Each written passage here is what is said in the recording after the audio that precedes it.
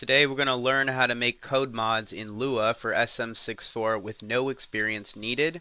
You're going to need an SM64 game, you're going to need a code editing program, and some documentation that I will provide. We're going to cover everything that you need to know to get started with coding in Lua.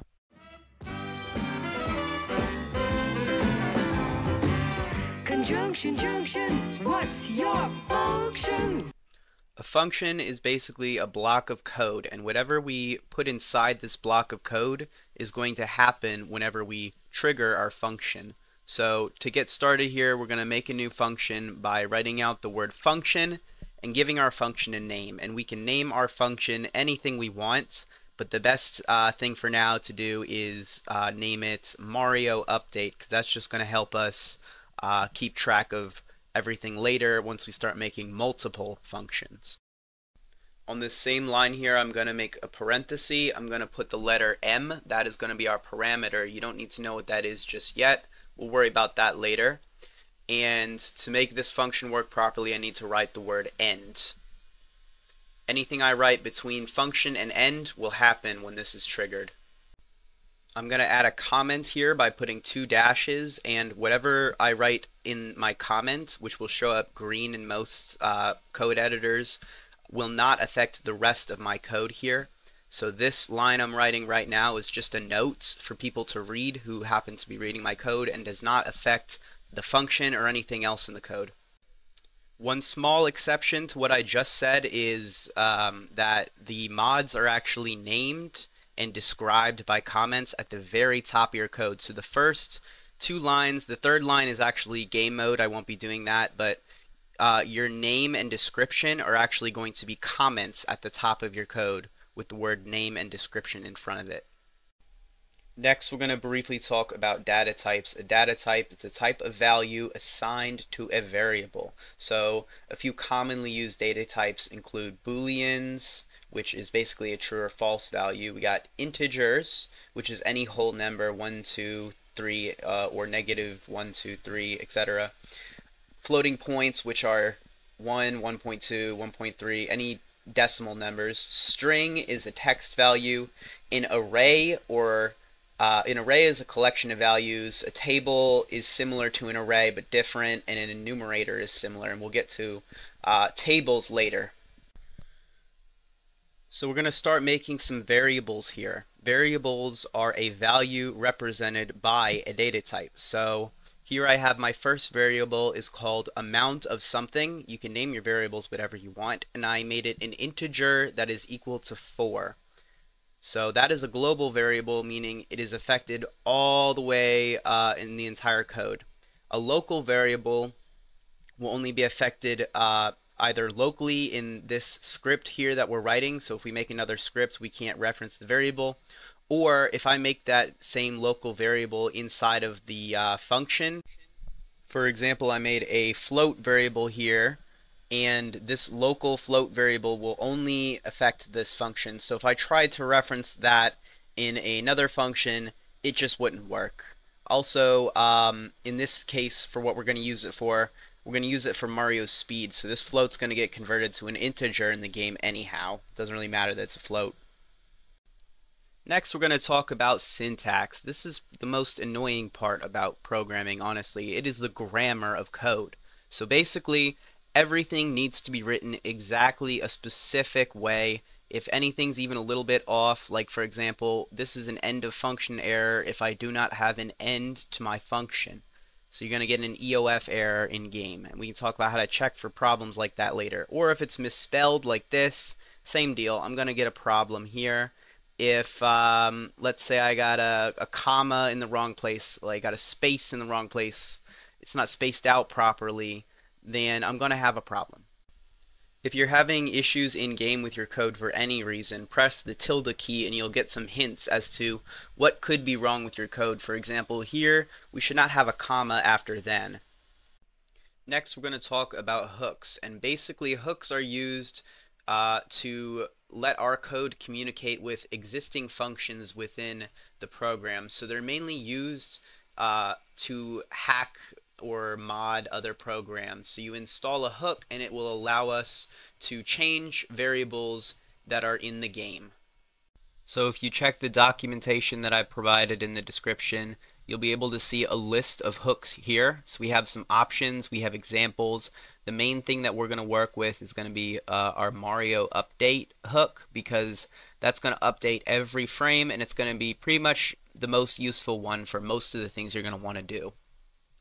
Although it is resource intensive, so if you can, take a look around and see, you know, if you're going to make something happen when you get damaged, you could use on damage hook instead. That's better for performance. So to install our hook, we're going to write the word hook, events. We're going to make a parenthesis here, and we're going to go ahead and write our, uh, we're going to paste our hook into there, Mario update, and then we're going to make our, uh, we're going to put in the name of our function that we want to activate, in this case, Mario update. So when Mario update happens in the game, our Mario update function will be triggered. Next, we're going to look at our Mario states. We're going to use one of these values here, and this is going to change something about Mario, whether it's his velocity, position, or something like that. For now, we're going to go ahead and use number of coins, which I found by hitting Control F. Very useful tool, by the way. Control F to find on a page. You can also use that in your code to find and replace all of the words in your code, which is very useful. Um, but for right now, we're going to go ahead and use number of coins. So anytime we change a Mario state, we're going to need our parameter m for Mario. So m dot is equal to whatever our coins are currently. So we're just going to copy and paste the same thing. m dot and then we're going to add our variable amount of something, which if you remember from earlier is equal to 4. So every second our coins are going to equal whatever they're currently equal to plus 4. So as you can see, every single frame, our coin count is increasing by 4. So it's just going up continuously, basically. In-game, we have what's called our Lua Profiler, and this helps us determine uh, the performance cost of our mod. So we want to keep our number kind of low, so it doesn't have a huge performance cost. Most Mario states are integer values. Some of them here are vector 3s, which are basically x, y, z coordinates for Mario's position, velocity, etc. So it'll look like m.vel.y or x or z. Next, we're going to be talking about statements, and we're going to be covering if-then statements today. So we're going to write if Mario's velocity y is equal equal to, the reason we're using two equal signs is to check if the value is equal to 0. So if Mario's y velocity is equal to 0, then whatever we put inside of the statement will happen if that condition is met. So up here it might be confusing, but we use two equal signs to check if Mario's y velocity is equal to 0 if it's greater than or equal to 0 is the next one, then something can happen in there. If it's less than or equal to 0, something will happen there. And we'll use tilde equals if it is not equal to 0. So right now, if Mario's y velocity is equal to 0, then can do something is equal to false if Mario's velocity is anything other than zero, so if he's jumping or moving or anything, can do something will be equal to true. I'm going to move our coin line here, and I'm going to make it so that way if Mario's y velocity is greater than 25, our coins will go up by amount of something. Here at the bottom I added the statement if m.controller button pressed and upad is not equal to 0, then, which means if we are basically pressing the up button, then the um, the code will happen, which means that underneath it says play character sound hello, meaning we press the up button and our character says hello. At the top here, I'm going to make it so that way when we press the L trigger and the button is held down, then our coin number will increase by coin number plus amount of something. Here I'm going to write the word and, so that way if we are holding the up button down and can do something is true. So instead of making it equal to equal to true, the double equal sign, we're just going to do if can do something, then. Remember, if our y velocity is not zero, can do something is true.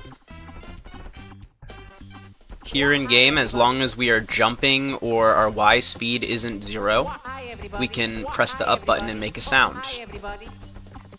And you'll say hi everybody.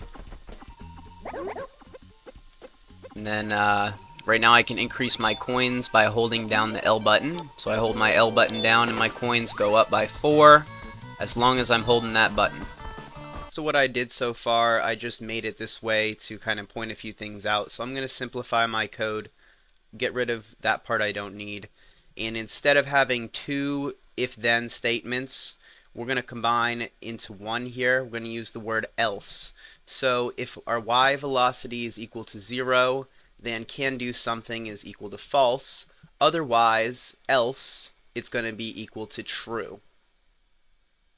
Next, we're going to do something fancy. We're going to make it so Mario says a random sound now.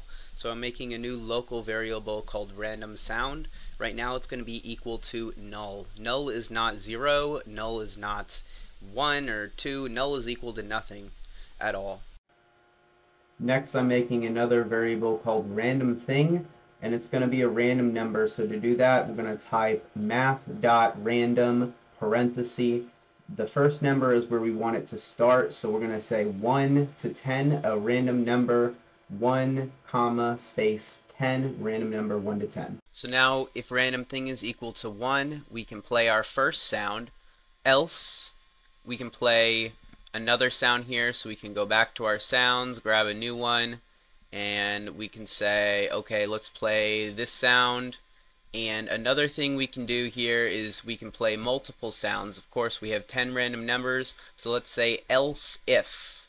And we can go ahead and say else if, copy this on over here, random thing is equal to 2. And then we can play another sound right there.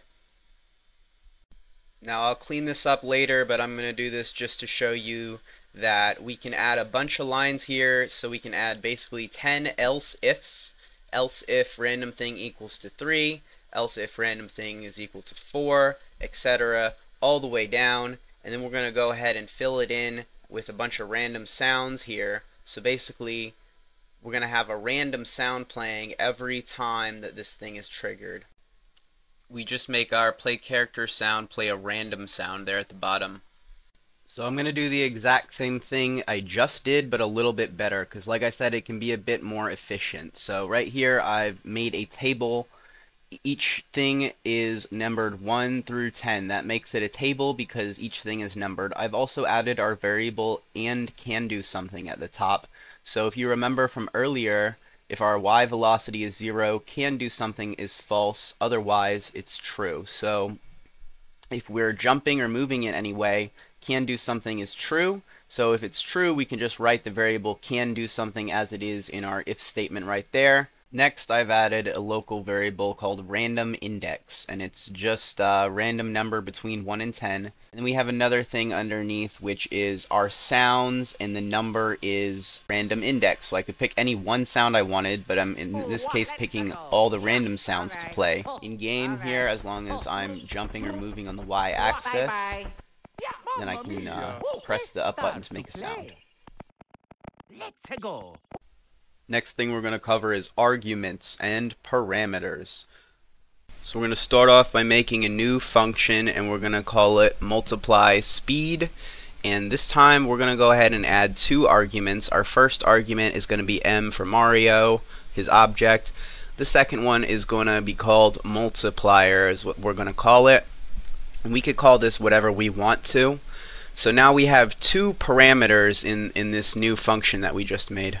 We're going to change Mario's forward velocity using m forward vel. We're going to make it whatever it currently is multiplied by our multiplier. So now we're going to go up to our function up here and if our trigger is down, left trigger is down, what we're going to do is, uh, so we change that from y speed to our, our left trigger being down. So that's going to make uh, can do I can do something true, and it's going to call our function multiply speed, and it's going to use the argument 2 to make our multiplier set to 2. So down here, Mario's forward velocity is equal to Mario's forward velocity times 2, basically. Whatever it currently is times 2. And I was using this in another video. You'll see here to, um, I'm running around here for a second. We can look at my speed, uh, sorta, and I can launch into a parallel universe doing this because I can gain so much speed, so that's kind of fun.